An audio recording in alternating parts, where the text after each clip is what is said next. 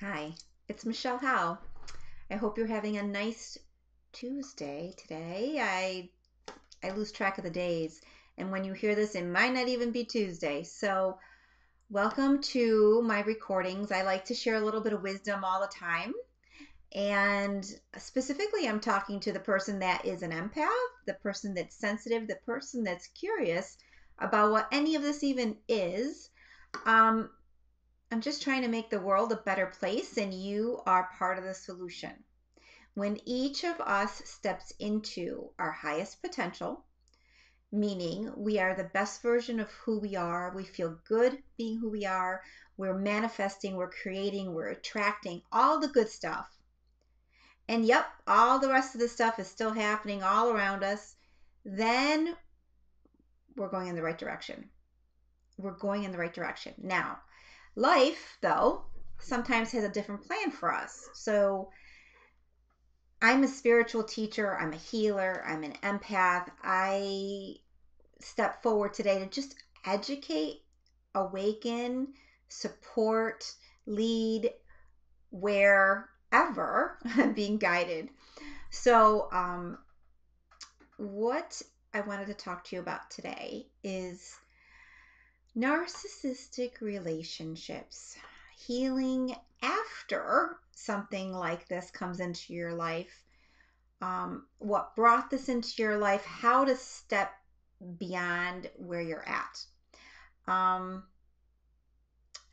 I've seen close to me some narcissistic relationships, and they are always a surprise and a shock to the person that um, gets slammed down and feels devastated and destroyed. Mind you, most people, I should start with the definition of a narcissist, but most people don't even know that they're narcissists. They're just behaving the way they know how to behave. They're behaving with the priorities that they have in life. And usually the priority is me, me, me. What about me, me, me? What are you doing for me, me, me?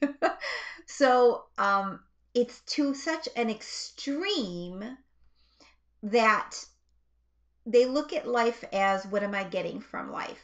They look at it as a, at a relationship as what am I getting from this relationship? It kind of dulls down the amount of love. Any person who is a narcissist doesn't really know how to love for the sake of loving. They only make believe they love or think that they love or feel that they love when they can get something out of it. So, mind you, it's an imperfect world. All of us are imperfect people. All right. Um, if we were perfect, we wouldn't be here. So, you know, to have the idea of unconditional love is a great idea. But in a world where someone's taking out the garbage, someone's working, someone's cooking dinner, someone's cleaning up, the house is a mess, you know, this pressure, that pressure, this other pressure, you really need to be with a person that you support and they support you. And it goes back and forth. And you don't have to be the same person, you could be totally different people. But the bottom line premise of this is that there's a certain amount of respect, a lot of respect.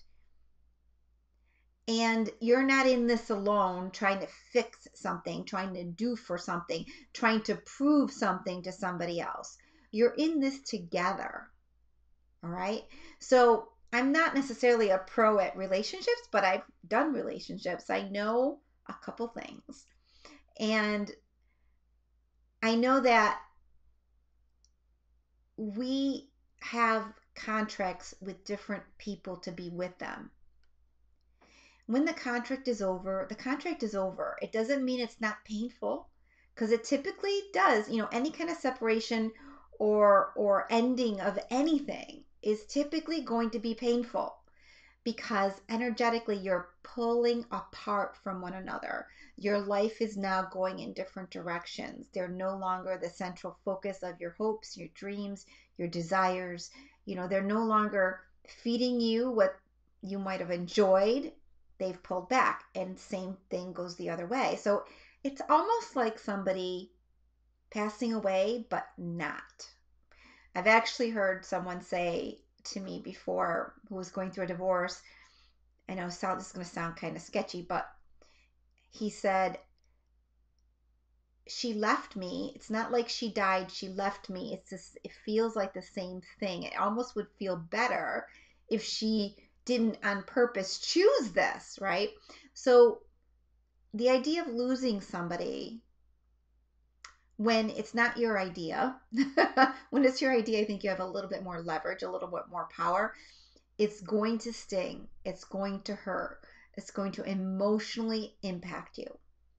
So, what I would recommend for anyone who's going through this relationship is A, to understand that you attracted the relationship in your life for a reason, whether it's by contract, for a lesson, for um, lessons not in a bad way. We're always learning lessons every day. You know, some are going to hurt more than others, but it's almost like a test. How are you going to react?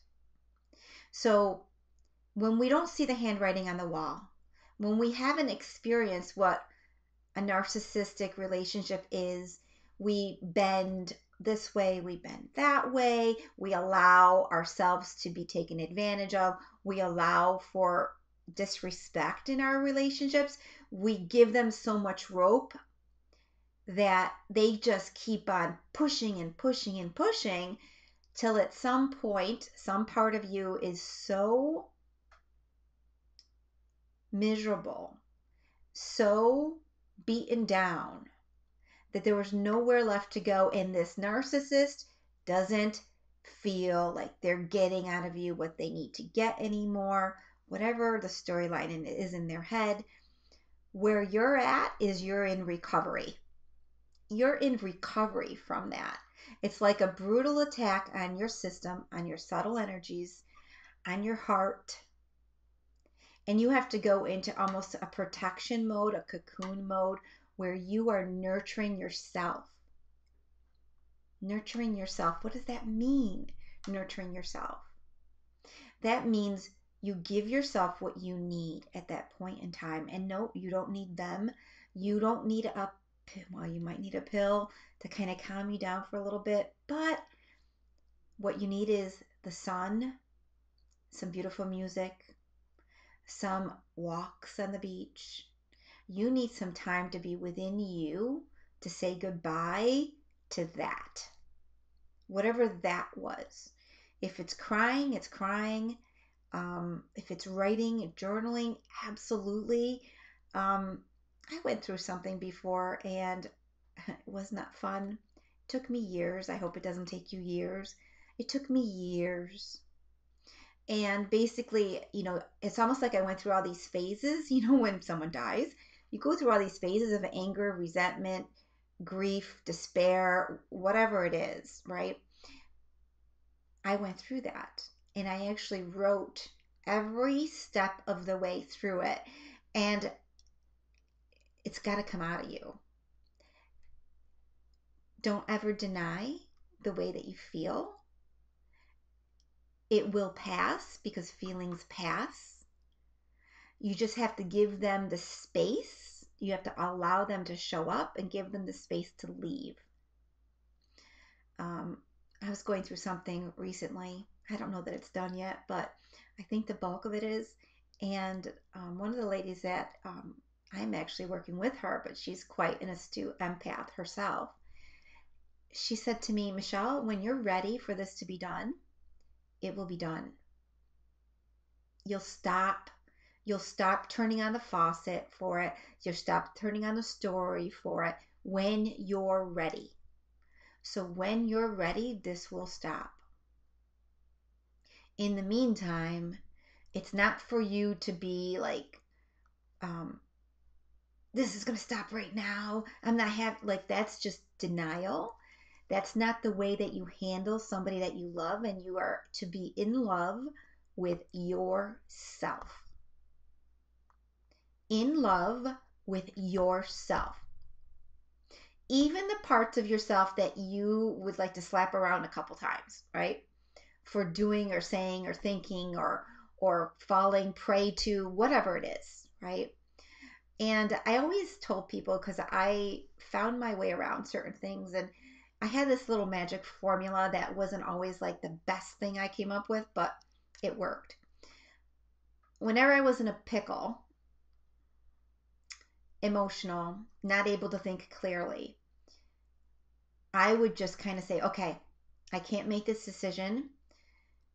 It's an important decision. Maybe I won't make it today. Maybe I'll just ask my higher self.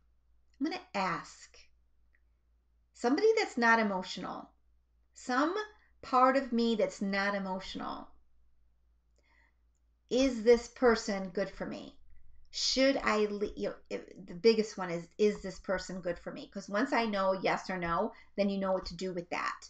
Is this, should I make this phone call? Yes or no? Is this person good for me? You know, every one of us at some point are holding on tight to somebody because we can't let that go, right? This is the love of my life. My life will fall apart.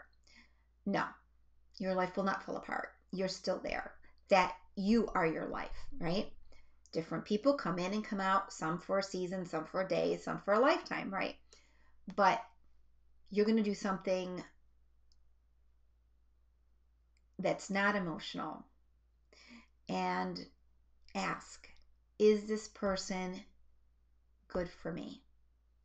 Is this person good for me? And you're going to, and you say that, you're going to pause in the middle of all of it. You're going to wait for an answer. You're going to probably get an immediate answer. It may not be the answer you want. And the biggest trick in all of this answering is you say it aloud. When you say it out loud, you can't get stuck in your head, right? It can't get stuck. The answer comes shooting out at you, not really always audibly, but you're going to know the answer. It's going to be like a flash, like a flash. You're going to know.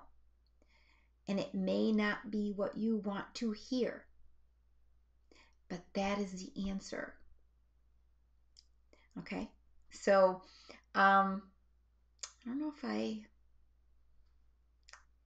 I'm not really great at giving step, step, step, step, step. I'm really just good at letting it flow how it needs to come out of my mouth. So once you recognize somebody is not really ideal or good for you, what are you going to do? Back up, back up, back up. Each step of the way, back up. The other thing you can do as you start to back up is change the story in your head about that relationship with the, with that person. And this is a card I drew today for you guys. It says purpose. There is nothing that is coming our way. Mine, yours, your children's, your neighbors, this there's nothing that is coming our way. It's not serving some sort of a purpose. All right? And when you look at life that way, you will stop judging it. In some way, it's serving a purpose. So let everybody do what they need to do. You focus on you and you step into your purpose. What are you here to feel? What are you here to do? What are you here to model for the world? All right. I hope you enjoyed that. If you want to learn more about me, visit empathevolution.com. And I hope you have a great day and a great week. Take care.